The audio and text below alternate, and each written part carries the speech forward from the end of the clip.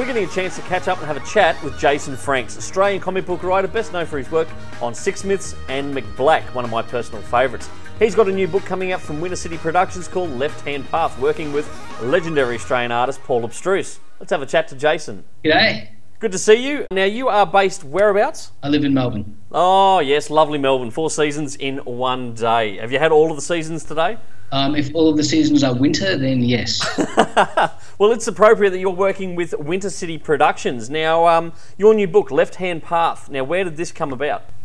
Um, so, I guess Paul braced me about writing a book for him at uh, San Diego in 2010 in the pub where all business gets done. Of course, it does. I guess we came back and um, he told me he wanted something depraved to draw. So, um, with that kind of brief, I thought, all right, I guess uh, I guess I'm the right guy for that job.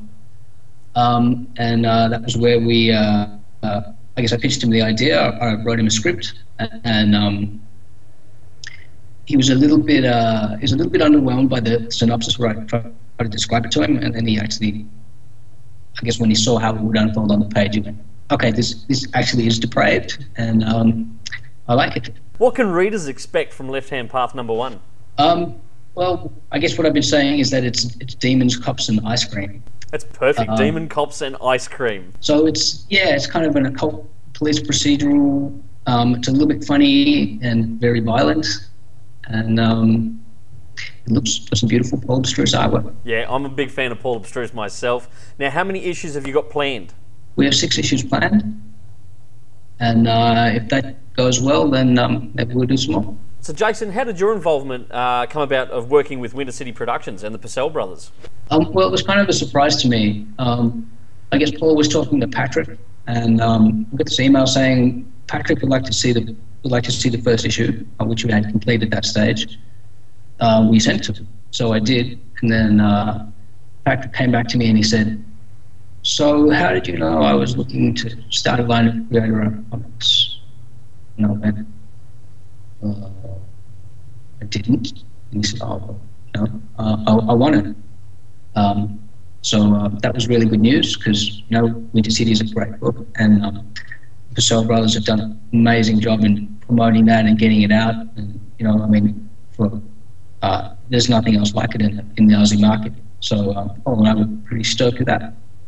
And um, it just moved really quickly from that. Um, the book is uh, already in print um, from what I've seen on Facebook, which is incredible. Fantastic. Where can people find the first issue of Left Hand Path?